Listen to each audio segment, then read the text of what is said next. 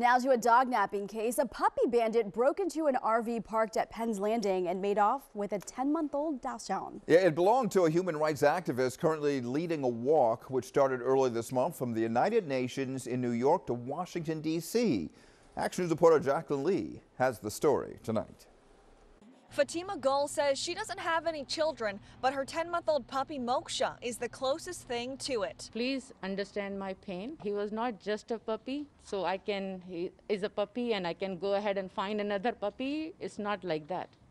It's it's my moksha and it is one and only. She was visiting Philadelphia last Thursday, leading a human rights walk for the Sindhi people. She says she was gone for an hour, only to come back to her RV broken into with everything flipped upside down. It was in the parking lot of the Holiday Inn Express Penn's Landing. They have taken the whole like locks out of the uh, you know front doors very professionally. An employee here at the hotel insists they don't have any outside surveillance cameras and says they have multiple signs over here in the parking lot warning guests that they are not responsible for any theft. Gul says she stopped her human rights walk, which spanned from New York to D.C., in order to post these flyers and find her puppy. It's so painful.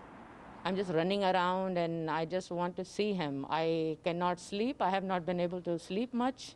There's so much of pain inside me. And the Central Detectives Division is investigating the incident. Gul says she just wants her puppy back. She says you can call her anonymously or drop him off at an animal shelter, no questions asked. In Penn's Landing, Jacqueline Lee for Action News at 10 on PHL 17.